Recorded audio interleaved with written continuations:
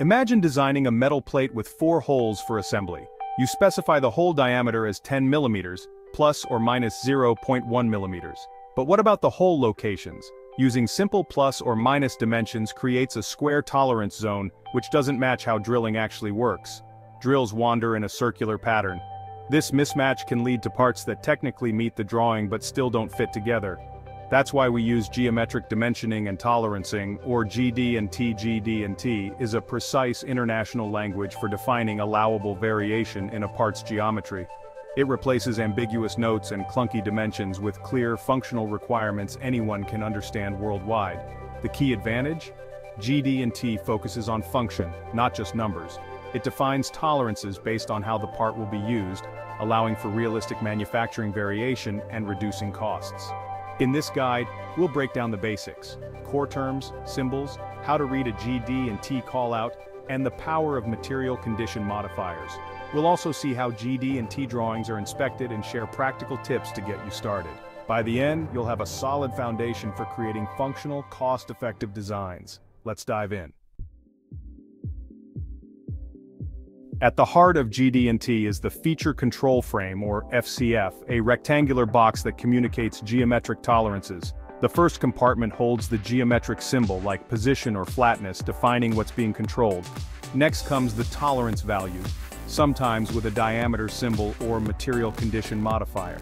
The remaining compartments list datum references, exact points, axes, or planes used as measurement origins. Datums create a stable frame of reference like the floor and walls of a room. The order of datums matters, primary, secondary, and tertiary, each locking the part in place for measurement. Key terms, a feature is a physical part element, like a hole. A feature of size has opposing surfaces, like a hole's diameter. A datum is a perfect reference. A tolerance zone is the allowed space for a feature, and the FCF is the box that ties it all together. Mastering these terms is your first step in reading GD and T.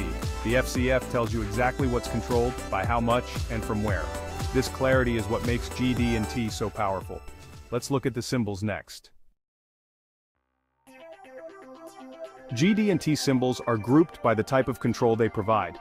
Form controls shape without reference to other features, straightness, flatness, circularity, and cylindricity. Orientation controls how features relate to datums, perpendicularity, angularity, and parallelism. Location controls define where features are relative to each other, position, concentricity, and symmetry. Profile controls can define size, shape, orientation, and location all at once, profile of a line or surface. Runout controls are for rotating parts, Circular runout manages wobble, total runout controls both wobble and taper. The most common symbol is position, used for holes and pins. Each symbol tells you what's being controlled and how it should be measured. Understanding these categories helps you read any GD and T drawing. Next, let's unlock the secret to smarter tolerances. Material condition modifiers are a game changer in GD and T. The three are maximum material condition MMC, least material condition LMC, and regardless of feature size, RFS. RFS is the default, tolerance applies at any size within limits. MMC, shown as an M in a circle, means the tightest tolerance applies when the feature has the most material, smallest hole or largest pin. As the feature departs from MMC you gain bonus tolerance. For example, a hole drilled larger than its minimum size allows more positional error. This bonus tolerance lets you loosen manufacturing requirements without sacrificing function, cutting costs. LMC, the L symbol, is used when minimum wall thickness is critical. Using MMC for clearance fits like pins and holes is a best practice. Material condition modifiers make your designs more robust and economical. Now let's see how these tolerances are checked in the real world.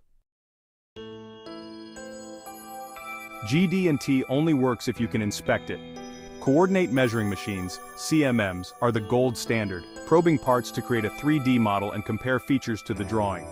For high-volume checks, functional gauges like go slash no-go pins quickly verify if a part meets MMC requirements.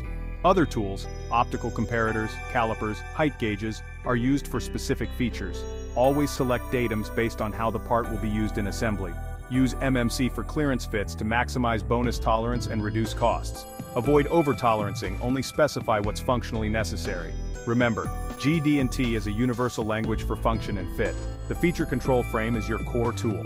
material condition modifiers unlock cost savings. Master these basics and you'll create clear, functional, and economical designs.